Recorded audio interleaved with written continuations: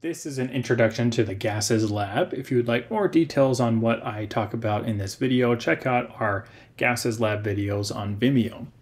To get started in the gases lab, you need to select an experiment from the stockroom. So either an experiment where you're focused on volume, temperature, pressure, or our balloon experiment, which is the most popular. So let's go ahead and look at the balloon experiment.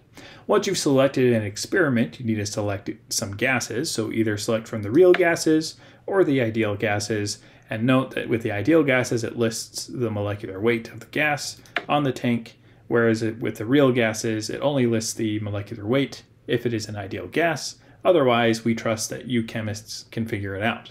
So let's select CO2. If I want to, I can open the valve here, and if I were to increase flow, you would see the number of moles start to increase and the balloon starts to fill up.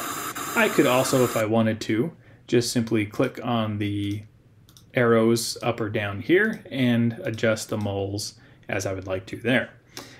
If I close the valve and I return the tank, you'll note that I can no longer change the number of moles. It is now fixed in the balloon. So now if I want to adjust the temperature or the pressure and see how it might affect the number of moles or the volume of the balloon, then I can learn this way by doing this experiment.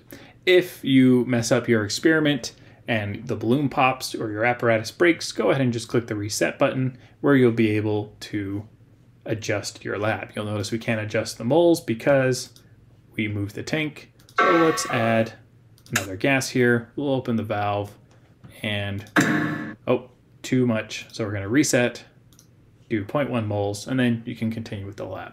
Note that the reset button up here simply resets the gas inside the respective experiment chamber. If you click the reset button here, it completely resets the lab from scratch. On the uh, system tray here, you can see the live data. So if we were to open up the experiment again, this is where the live data lives. We can save the data, and then as we adjust the data and stop saving, it is saved to our lab notebook.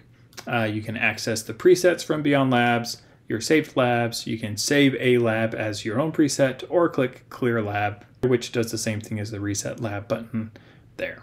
Uh, that is an introduction to the gases lab. Again, if you would like more information about any of these experiments, go ahead and check out our other videos.